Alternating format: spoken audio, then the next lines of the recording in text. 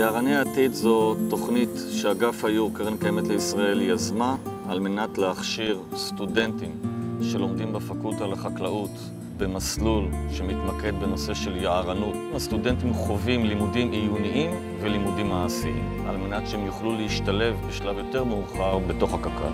התוכנית שרקמנו יחד עם הפקולטה לחקלאות תכשיר את הדור הבא של היערנים בישראל.